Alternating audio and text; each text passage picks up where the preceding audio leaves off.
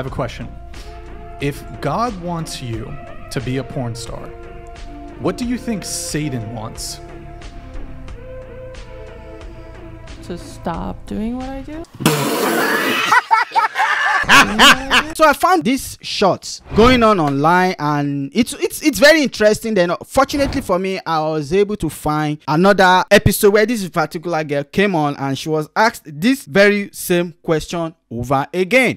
Let's go. So first we'll listen to what she said the very first time that she was on this podcast. Then we'll go back and listen to what she has to say the second time and see how much delusional she's gotten from the last time or how much of her senses she's using now. But before we go into this episode, if you're new to this channel, all you can do for me is subscribe. Click the notification bell so you don't miss my future update. Like this video, share, comment, and do all those amazing things. And now that all of that is done, let's go.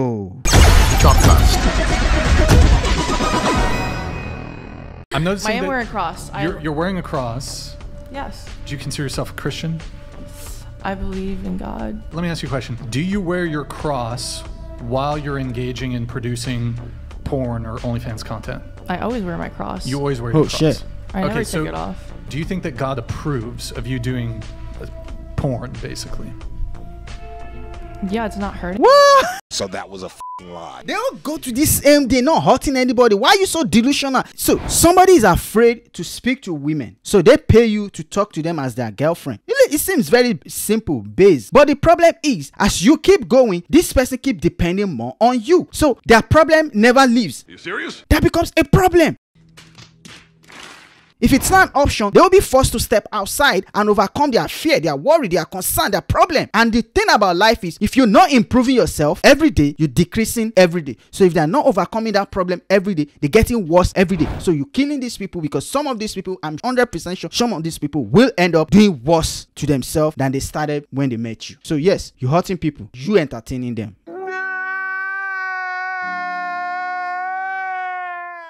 Do you think God wants you making porn? God said that He loves everyone. Yeah, God loves everyone. Though. Okay, I have a question. If God wants you to be a porn star, what do you think Satan wants? To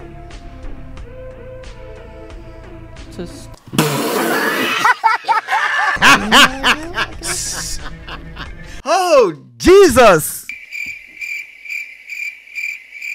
Son of Mary, where are you? Human said you wanted to do porn.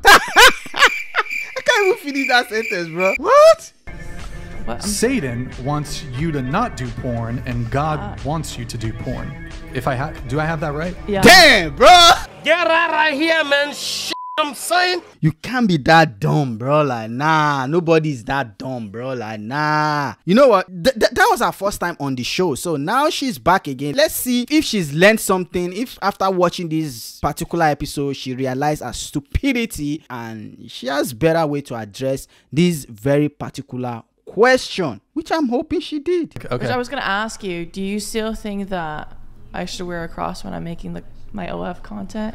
Well, we had a sort of viral exchange about that. The first thing I wanted to fir- first bring up, bring up is your Instagram. Cindy Zhang, God First. Now, right below God First in your Instagram profile is a link to your pretty much redirects essentially to your OnlyFans account where you make pornographic content. That's interesting to me. So, God First. It's almost bla- I don't know if it's if that meets the definition of blasphemy, but literally below it is a link to your pornographic content. Explain that to me. There's nothing wrong with the content that I make. What? And I don't think God is shaming me for anything that I am doing right now. So Okay. there's nothing wrong. That's not the best answer, but a good answer Like, would what be. do you want me to say? Well, you might say hypocrisy is the tribute vice pays to virtue. Believe in God, but you're kind of doing things that maybe are contrary to that, but you're kind of working on it. And so I wouldn't, you know, the better thing to do would be keep the necklace and, you know, give up the OnlyFans stuff. But the fact that you've got that reminder there is probably good because it's a reminder that we worship the things that we spend all of our time and our affection on, right? And so you can come to worship money and you can come to worship sex and you come to worship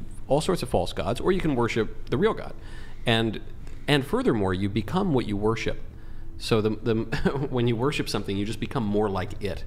And uh, like this guy is just spitting the fact. and- and Let me just shut the fuck up and learn. Because, like he said, you become what you worship. These people worship money, and they say money is the root of evil. So the only tree that money grows is evil. You know.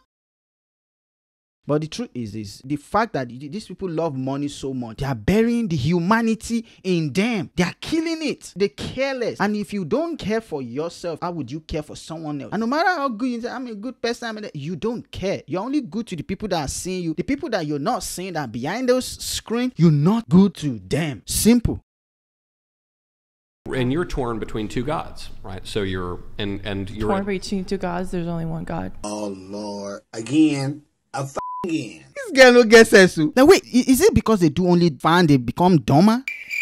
Look, you can either worship the real God, you can worship the God of money, you can worship the God of sex. That's it, how how more Bruh, chill. God. Okay. yeah. So so like- you you and you're kind of it seems to me you're I'm not putting anything above God. God is first, and I like But if- I pray every single day. I'm very blessed with my job. He actually blessed me with everything. I came from nothing, literally. That's the problem. He blessed me with everything. I came from nothing. That means God. No, those are your tests. Are you willing to give up those vice for God? Just because you're making money doing the wrong thing doesn't mean God is blessing it, bro. Like I, I don't know how best to explain this to you. All of you say the same thing. Why? Why? Une, you get problem. you know, if you believe in God and you think that like uh, you believe in like the Christian God, yeah, okay. So then you know you would say, well, um, there so there's God, and then there's Satan.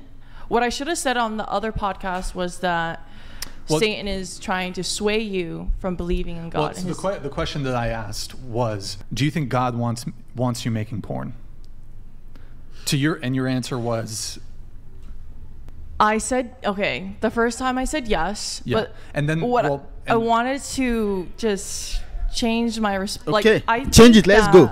There's nothing wrong with what I what I do. Who are you? She's struggling to say the truth, and that's the thing. That's where that's where this thing gets interesting. Their delusional mindset. Because if you say God don't want me to do OnlyFans, then you're admitting that on- doing OnlyFans is wrong. So now she's not going to accept it. She's going to find an explanation to justify it. But how sensible is that explanation? That's what we wanted to know. the Yeah. exchange we had. My my follow up question was, if God wants you to be a porn star, what do you think Satan wants? Satan, Satan wants you to sway you from believing in God's purpose. Wow! Beautiful! Okay, but d- your res- your response was Satan would want you to not do porn, and God would want you to do porn. Yeah, my response was that. Mm-hmm. But like, I understand where you're saying like people are can be lusting over porn Mm-hmm. and like sex work content. You that's obviously their, don't really That's believe their cho- that's their choice. But what I'm doing, I'm not harming anybody. What? But but You are helping people commit sin, and you say you're not ha- harming anybody. You are contributing factor to their sins, so that makes you as guilty as they are. Yeah, I made this delicious meal that is poisoning people, but I didn't poison them, bruh. What? No, you poisoned them. That one there was a violation. Personally, I wouldn't have it. and the religion that you profess to believe in has a, a sexual ethic that, that accompanies it. And so you might say, well, I don't believe in any of that stuff. I just believe in a, a version of that, that God that I've fashioned after my own preferences. But that gets to the very point we were just talking about, which is you're in this struggle between which God you're, you're going to worship. And I can tell you're struggling with that because you, you protest too much. You put in your bio, I put God first, right among all of this kind of lusty stuff. And so you're struggling with it. A lot of people struggle with that. I'm not struggling with it. I pray every day. I believe you pray every day. you and should I, keep- you I should keep praying still stand by the fact that he's the, blessed. The problem like, is this, every- bro. Like you pray every day, you, but you don't actually believe the God that you are praying to. That's where the conflict comes from. Understand that only God can fashion you in His image. We as human cannot fashion God in our own image. We abide by His rule. He don't abide by our own rules, and that's the problem. A lot of you try to make God abide by your rules. I'm gonna do OnlyFans, and God is gonna accept me. Now you're telling God you have to accept me the way I am. The same thing you tell men. I want someone to accept me for who I am. No, bruh. Women. You got to make changes. You have to adjust yourselves.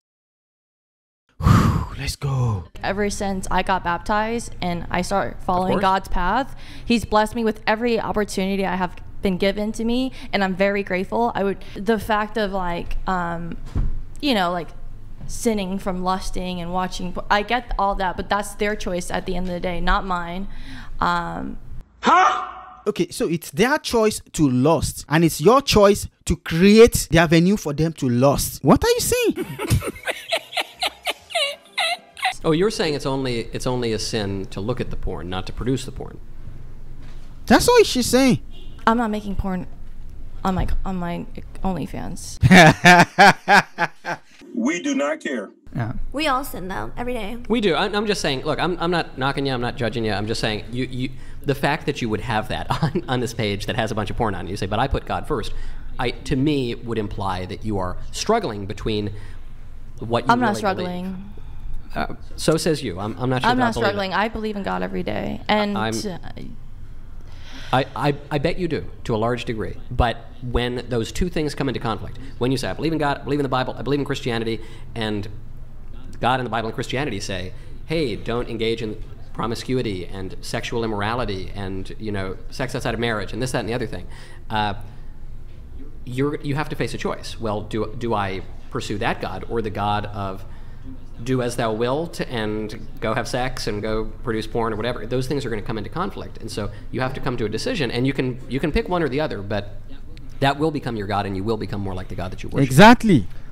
okay, well, I worship a God that That's like walks on earth with grace and dignity and um, I feel nothing wrong with what I'm doing right now. if your chosen profession is sexual immorality how do you reconcile that with the, the, the faith Okay, but still like there's nothing wrong with that. Even people who What? are, the um, religion says there is something wrong with that and, and you say you believe in the religion people will go So- go to any length to defend this thing. Like what? Like ha.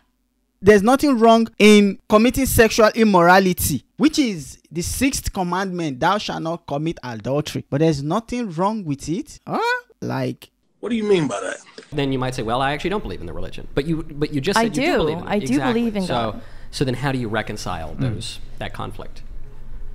there's nothing to reconcile because The religion no- says, "Don't do this." You say, "I'm going to do this." Hmm. How do you rec- you have to reconcile that, or, or you have to say, "I don't believe in the one. I, I only believe in the other." He's No, not but God. I'm- you don't have to like. I, I'm just saying like there's really nothing. think take like, take what applies. Take what applies. Number and one, drop like- whatever doesn't too. Number one, go. If that makes you happy. we sin, we all That's the second. choice Number that said, two, which is you know make a god out of yourself and your own. Exactly. Just because you don't want to accept that what you are doing is wrong, because the moment you accept that what you are doing is wrong, it becomes a responsibility on you to make changes. And you're not willing to change because that change means you don't get that money. So at the end of the day, it boils down to the money. And like I said, when every goddamn thing you think about is how to make that money, regardless of how, then you will hurt other people. I'm I'm not You don't judging you in any way. me. I'm just asking. So- I'm just But of the information and- that Yeah. he has based off, you know, you wear a cross while you shoot your okay, and you can make that judgment and I'm not making any judgment. You've you made. are. You, I'm not. You've made. You two, are, You've though. made two statements, and they contradict each other. That's Right, You, you see, said now we're I- getting defensive. Now we're getting angry. Now we're going. Oh my God, we're throwing tantrum. I believe in God. I believe in the Christian religion. I, I believe in the Bible and the Ten Commandments and all the rest of it.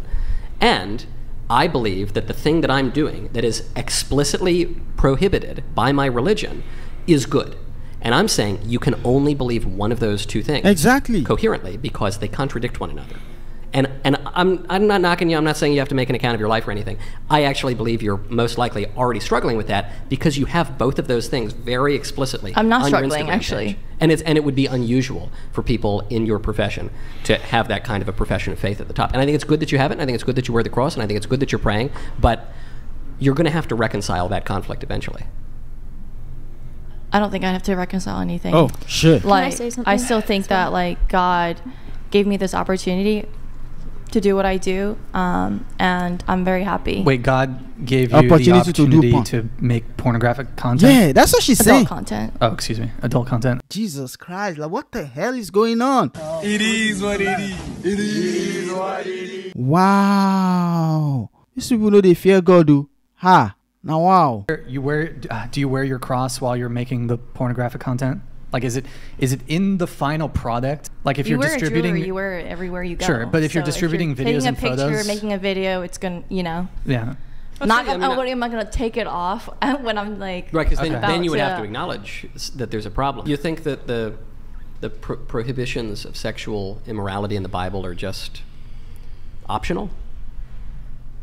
it's not optional. It's you have to follow his path. And Okay, so if it's not optional, if you have to follow his path, then what, why are we having this conversation again? like I don't partake in those acts. Uh, and But you you do um, uh, like I'm not telling tales out of school. You do partake in sexual immorality. It's your job.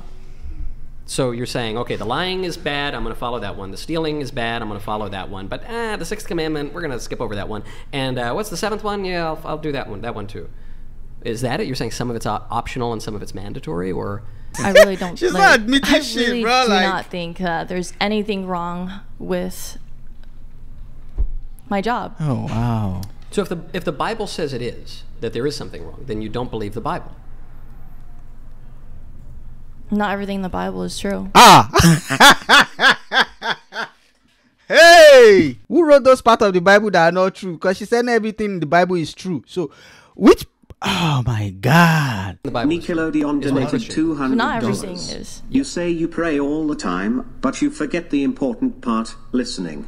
Maybe God brought you here to realize the mistakes you're making and change. Instead, you get defensive and don't listen. That one there was a violation. Personally, I wouldn't have it. I, sh- I just feel like even like people who are a prostitute, who, who like whatever, like in sexual content, they're they're really not doing anything wrong. What? Stop it. Get some help. Hey, I don't die. We are a lost soul. Finally. So is her choice to then reject the religion? Uh, Well, I wouldn't recommend that. Okay. I would recommend uh, uh, keeping your faith. Do you and- think and that living- God loves everyone? Yes. Okay, so But God loves you too much to keep you as you are, is, is the reality of it. And so I'm not suggesting you abandon your faith at all. I'm suggesting you abandon the things that you're doing that contradict your professed faith. Because otherwise, you won't actually have your faith. You'll, you'll, have, confu- you'll have deluded yourself into telling yourself you believe in this religion when you consciously reject important parts of it. Wow. This is the ground ultimate stage of denial, delusion. Anybody can be, bro. What the fuck? The Ten Commandment is not for you to pick and choose. If you want to follow him, you follow him in all in all, toe and toe. Everybody's commit sins, people have forgiveness and all that. But you can't continue to live in delusion and continue to live in sin and say, oh yeah, God got me. Oh my God. Like, like shut up. I think these people need the Lord. They need God. That's it. That's what I think. Go into the comment section. Tell me what you think. And if you are new to this channel, all you can do for me is subscribe. Click the notification bell so you don't miss my future update. And on that note, I say thank you once again for joining me on Shortboat. Until I see you again, peace.